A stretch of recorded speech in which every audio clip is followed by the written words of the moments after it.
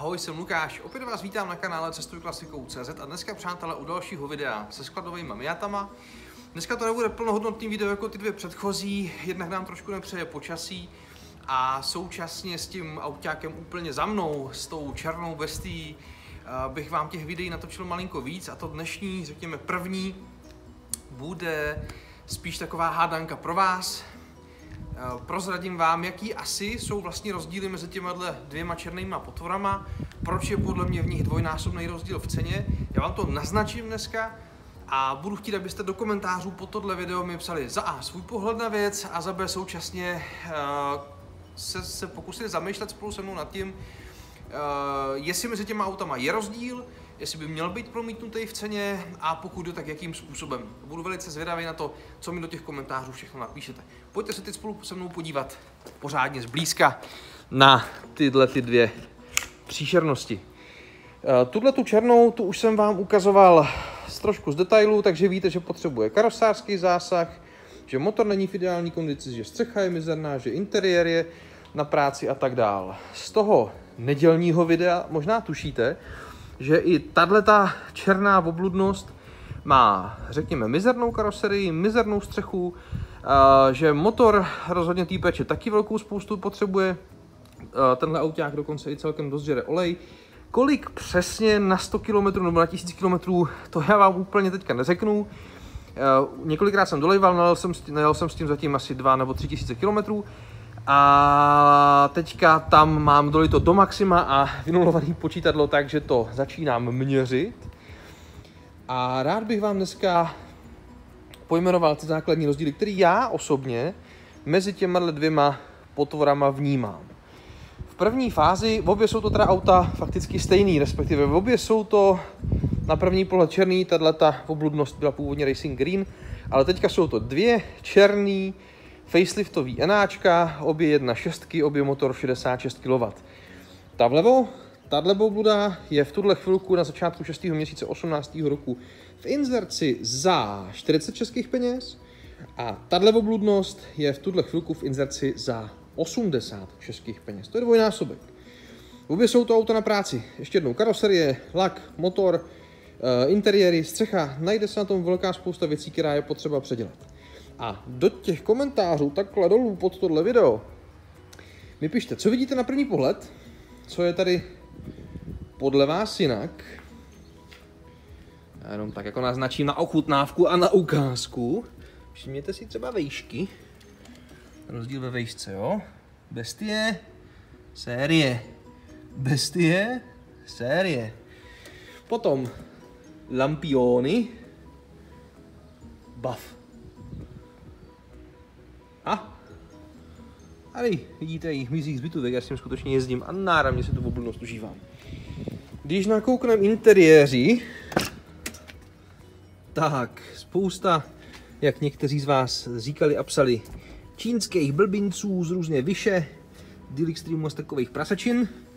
Nicméně jsou to mým uživatelským úhlem pohledu blbiny zajímavý a funkční oproti, řekněme, sériovému stavu.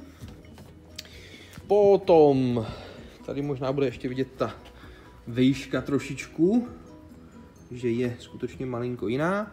Potom jeden rozdíl tady, tady nic nevidíte, má to německý doklady. Druhý je tady český doklady a STKčka ještě na rok, přestože to je ověšený takovýma cingrlátkama. A současně tahle ta hovadina je řekněme v úvozovkách, jak jsem psal v inzerátu, postavená fakt ve velkých úvozovkách, eh, asi v tomhle duchu, takže třeba lemy úplně opravený asi nejsou, je to naplácené nějakým sajrajtem, kitem nebo buhvičím, to plácnutá tady ta černá nálepka, co z toho vleze a ověšený nějakou touhle, řekněme, gentlemanskou signaturou. Tak, ještě vám ukážu, a na to si vypnu kameru, ještě vám ukážu jenom zatím v tuhle chvilku statický pohled do motorových prostorů tady těch dvou potvor. Co je tady už takhle z dálky patrno, tak je tahle ta červená hovadina. Co je patrno potom zblízka, tak je tady ty dvě relátka hezký, tady se s nepořádkem v kabelech, vysoušeč, mimochodem tady je netěsnost na tom okruhu, Tady, když se na to podíváte víc blízko, uvidíte druhý chladič, uvidíte, že nám tady chybí Sahara, ta, co tady má být na klimový auto. Tamhle dole je maskovaný klimakompresor, takže a, nápoj republika klimakompresor. A tady teda nepřítomno, žádný to, to červený nic. Klima nikde ní památky, třeba. A ABS máme i tady. ABS máme i tady. Jinak je to vlastně skoro stejná, stejná pohádka. Kdo koukáte na tyhle dvě auta v inzerci, nebo kdo se mrknete, dám máme prolegraci do popisku, tak to uvidíte i ve fotogaleriích, co tam jsou v těch inzerátech. A schválně mi můžete napsat, co jste z nich vypozorovali. Já jenom prozradím, že v tuhle chvilku u této blbiny je ta klimačka pouze přítomna, nehraje, vysvětlím potom v dalším videu, pokud se nám do té doby neprodá. A, uh, a že tohle jezdí, zdá se, že nekouří, tohle jezdí a kouří jak čert. Tak, černý, zeleno-černý, černý, zeleno-černý, uh, černý, zeleno-černý. Uh, z těch blbinců ještě, když zapnu světla na této klidně můžeme říct dvotuningovaný blbině, protože tohle asi je nějaká forma tuningu, nebo určitě se dá nějakým způsobem pojmenovat. Tak tady jsou mrkací takovýhle divnovočička. Tady jsou sériově, jak znáte z ostatních aut. A ještě, protože tohle jsou ti tuninzi, tak sice šerifové z toho úplně radost míti nebudou, pak když vás takhle lapí a tam když přepnete čudlik, tak se stane tohle. Jo. Takhle na straně, na súpeně ta blbost umí vypadat oproti sériovému autu. Tak a já když to teda pozavírám, pít ho stréca, Ješkovi. A ještě vám nabídnu teda jeden pohled na tyhle dvě černé obludnosti. Dám si to zase do stativu, abyste mě lépe, lépe viděli. Tak, tak, už mě asi lépe vidíte. Takže přátelé, do komentářů pod tohleto video mi pište, jaký jsou podle vás rozdíly tady v těch dvou černých blbostech. Pište mi tam, jestli vás baví víc sériový auta, anebo auta s něčím, čemu se klidně dá říkat myšlenka. To, jestli je to myšlenka pro vás konkrétně zajímavá nebo ne, mi taky napište do těch komentářů. A já vám to zjednoduším, dám vám takovou malou nápovědu. To praví, já jezdím teďka, furt. Je to pro mě osobně děsivá sranda, fakt mě to baví.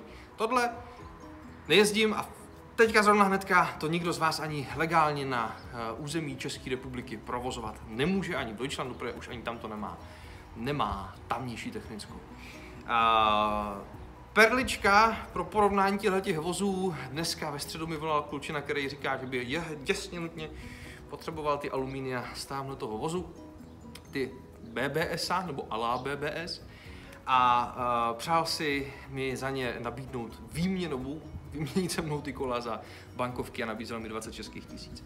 Já jsem ho odmítnul, protože bez těch kol tam to auto podle mě nebude tak hezký, takže se mi do komentářů pište, jestli jsem udělal chybu nebo ne.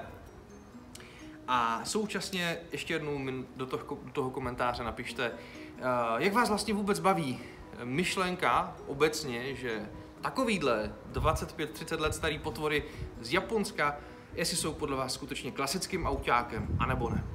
Mějte se dobře, užívejte léto, doufám, že vám nepraší tak, jak nám tady máme teďka hnusně v Prostějově. Užívejte léto, vytáhněte svý auta, vyražte s ním do garáže a pokud ještě nemáte, přijďte, něco spolu třeba vymyslíme, lajkujte Facebooky, Instagramy, eh, všechny ty internety, přihlašte odběr, dejte zvonoček a hlavně cestujte klasikou. Zdarec!